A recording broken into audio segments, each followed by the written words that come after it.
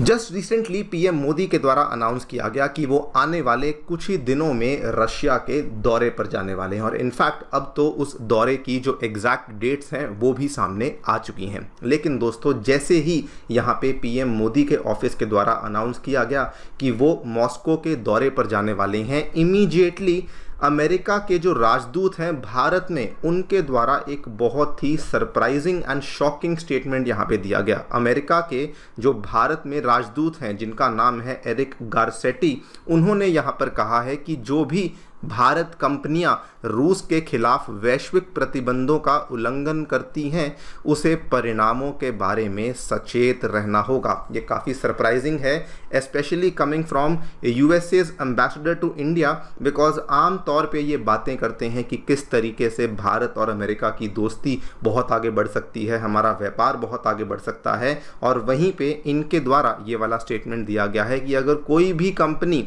Russia को help करती हुई पाई गई कोई भी इंडियन कंपनी तो उसको, उसके जो परिणाम हैं, वो यहाँ पर भुगतने होंगे। आप यहाँ पे देख सकते हैं, खबर जो है, आज से कुछ ही दिन पहले सामने आई। Indian firms who are flouting Russian sanctions will be facing consequences ये स्टेटमेंट डायरेक्टली यूएस के एम्बेसडर के द्वारा दिया गया है। नाउ ऑब्वियस सी बात है कि यूएसए इस चीज़ से बहुत ही ज़्यादा नाखुश है कि पीएम मोदी रशिया के दौरे पर जा रहे हैं। बिकॉज़ अगर हम लोग फैक्ट्स की बात करें तो जब से रशिया यूक्रेन के बीच में युद्ध शुरू हुआ है तब से लेकर अभी तक इन ढाई सालों में पीएम मोदी के द्वारा रशिया का दौरा नहीं किया गया था। एंड पश्चिमी देश पूरी कोशिश कर रहे थे कि किसी भी तरीके से रशिया के प्रेसिडेंट व्लादिमीर पुतिन को एक पराया घोषित किया जाए, लेकिन जैसे ही पीएम मोदी ने ये वाला दौरा अनाउंस किया है तो पश्चिमी देशों की जो भी कोशिशें थी, वो बेसिकली एक तरीके से यहाँ पे नाकाम हो जाती हैं। बात करेंगे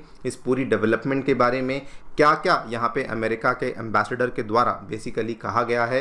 And what is the reason कि सडनली अमेरिका इस चीज़ को लेकर इतना ज़्यादा बौखला चुका है? आइए शुरू करते हैं दोस्तों मेरे साथ। मेरा नाम है अनिरुद्ध। यदि आप लोग हमें फॉलो करना चाहते हैं, हमारे लेक्चर्स के अपडेट्स को प्राप्त करना चाहते हैं तो यहाँ पर दिए गए टेलीग्राम चैनल्स के माध्यम से ऐसा कर सकते हैं। आगे बढ़ने से पहले आप सभी को बताना चाहूँगा कि अन अकेडमी के लर्नर्स के द्वारा दो हज़ार तेईस के एग्जामिनेशन में बहुत ही शानदार परफॉर्मेंस करके दिखाया गया है। टॉप टेन में चार लर्नर्स एंड पूरी लिस्ट में 300 से भी अधिक लर्नर्स ऐसे थे जो कि अन अकेडमी के साथ जुड़ कर के ही अपनी तैयारी को कर रहे थे। और अगर आप भी अपनी तैयारी हमारे साथ जुड़ के शुरू करना चाहते हैं तो हमारे सेंटर्स अब नई दिल्ली के करोलबाग में, नई दिल्ली के मुखर्जी नगर में और साथ में उत्तर प्रदेश के प्रयागराज में आ चुके हैं। इन सभी सेंटर्स में हम लोग आपके लिए फाउंडेशन जीएस कोर्सेज को, साथ में सी सैट एस राइटिंग के कोर्सेज को current affairs coverage test series साथ में one S to one mentorship and educator interaction जैसी सेवाएँ भी अवेलेबल करवा रहे हैं। आपको किसी भी तरह की डाउट है आप डायरेक्टली सेंटर को विज़िट कर सकते हैं, या फिर आप नीचे दिए गए फ़ोन नंबर्स पर फ़ोन भी कर सकते हैं, और आपको एक डेडिकेटेड काउंसलर एलोकेट किया जाएगा, जो कि आपकी सभी जो प्रॉब्लम्स हैं, उनको यहाँ पे सॉल्व करने के लिए आपके साथ अवेलेबल होगा। ऑल राइट सो बेसिकली अगर हम लोग दौरे की बात करते हैं तो पीएम मोदी का तीसरा कार्यकाल शुरू होने के बाद ये पहला विदेशी दौरा है जो कि उनके द्वारा किया जा रहा है। और हम सभी जानते हैं कि आम तौर पे पीएम मोदी इसके पहले जब दो बार उनका जो पहला जो पहला और दूसरा कार्यकाल था जब वो शुरू हुआ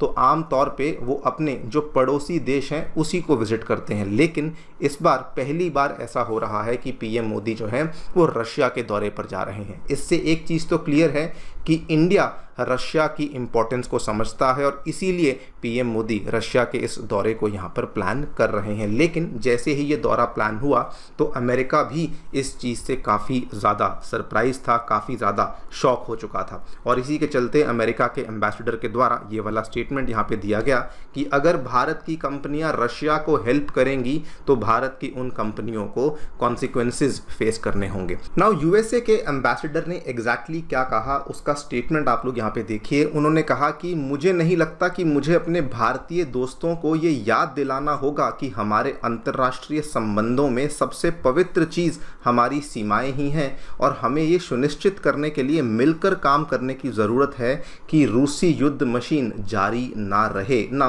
सरप्राइजिंग यहाँ पर ये स्टेटमेंट नहीं है। सरप्राइजिंग यहाँ पर दूसरा स्टेटमेंट बन जाता है, जहाँ पर उन्होंने कहा कि अमेरिका को इस चीज़ से कोई प्रॉब्लम नहीं। अगर इंडिया इंडिया रशिया के साथ कच्चे तेल को लेके व्यापार करता है। उसको लेकर उन्होंने इस चीज़ को जस्टिफाई भी किया कि देखिए ऑयल जो है बहुत इंपॉर्टेंट कमोडिटी है एंड यूएसए इस चीज़ को रिस्ट्रिक्ट नहीं करना चाहता बिकॉज़ इंडिया ने अभी तक जो भी जी सेवन कंट्रीज़ के द्वारा प्राइस कैप को निर्धारित किया गया था, उस प्राइस कैप को इंडिया ने अभी तक लीगली फॉलो किया भी है। वैसे यहाँ पर एक और रियलिटी भी है, जो कि आई थिंक यूएसए अभी तक फेस कर चुका है कि इवन दो अगर अमेरिका यहाँ पे किसी प्रकार की अड़चने या अटकलें लेकर आता भी तो इंडिया पहले ही इस चीज़ को एक नहीं, कई बार दोहरा चुका है कि भले आपको कैसा भी लगे, लेकिन हम लोग जो हैं, वो रशिया से कच्चे तेल का व्यापार करने ही वाले हैं। खैर अमेरिका बेसिकली इंडिया को यहाँ पे डराने की कोशिश कर रहा है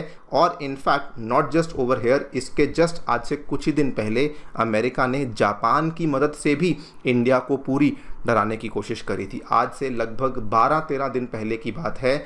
इवन जापान ने भारत को एक तरीके से चेतावनी दी थी कि अगर आपकी जो कंपनियाँ हैं वो रशिया को हेल्प करना बंद नहीं करेंगी तो हम लोग भी आपके ऊपर सैंक्शंस को लगाएँगे। इस चीज़ को लेकर मैंने एक सेपरेट वीडियो भी बनाई थी। और इनफैक्ट वाकई में जापान के द्वारा एक इंडियन कंपनी के ऊपर सैंक्शंस को यहाँ पर लगा भी दिया गया था। सो बेसिकली अमेरिका जो है, वो इंडिया को सिर्फ़ अपनी तरफ़ से नहीं, बल्कि और भी अलग अलग तरीकों से इंडिया को प्रेशराइज करने की यहाँ पे कोशिश कर रहा है। What is the main problem कि अमेरिका सडनली इतना ज़्यादा यहाँ पे घबराया हुआ है? उसके पीछे रीज़न बड़ा साफ़ है। अगर आप पिछले दो तीन महीनों की जो भी गतिविधियाँ हैं, जो कि रशिया के प्रेसिडेंट व्लादिमीर पुतिन ने की हैं, उनको देखें तो सबसे पहले मई महीने का टाइम था जब पुतिन ने चाइना का दौरा किया था। और चाइना का जब दौरा किया था तो वो दौरा बहुत सक्सेसफुल था। इन्होंने कई सारे वहाँ पे स्ट्रेटिजिक डिफेंस पैक्ट्स वगैरह को साइन किया ट्रेडिंग पैक्ट्स वगैरह को साइन किया। उसके बाद, जस्ट पिछले महीने की बात है, व्लादिमिर पुतिन के द्वारा नॉर्थ कोरिया का दौरा किया गया, जहाँ पर जाकर के उन्होंने किम जोंग उन के साथ एक मिलिट्री डिफेंस पैक्ट को साइन किया। ये वाली फ़ोटो आप सभी ने देखी होगी, बहुत ज़्यादा वायरल भी हुई थी। और अब वो इंडिया के साथ मिलकर के भी अपनी दोस्ती को और बढ़ा रहे हैं। एंड द फैक्ट कि इंडिया जैसा देश, जो कि अमेरिका के बहुत नज़दीक है उसका प्रधानमंत्री जब रशिया के दौरे पर जाता है, इससे ये चीज़ क्लियर हो जाती है कि रशिया की इंटरनेशनल आइसोलेशन जो कि अमेरिका करना चाहता था वो यहाँ पर नहीं हो रही है। This is the main reason जिसकी वजह से अमेरिका बहुत ज़्यादा घबराया हुआ है कि इवन दो हम लोग पिछले दो ढाई सालों से कोशिश कर रहे हैं, लेकिन हम लोग व्लादिमिर पुतिन को कंट्रोल नहीं कर पा रहे और वो अपना जो इन्फ्लुएंस है, उसको एशिया में काफ़ी अग्रेसिवली यहाँ पर फैलाए जा रहे हैं। खैर, एक चीज़ और है जो कि आपको समझनी होगी कि इवन दो अमेरिका